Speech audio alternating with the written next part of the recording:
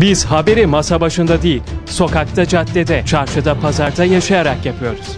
Siz de İstanbul, Türkiye ve dünyanın gündemini istanbultimes.com.tr'den takip edin, habersiz kalmayın. Haydi, hemen tıkla.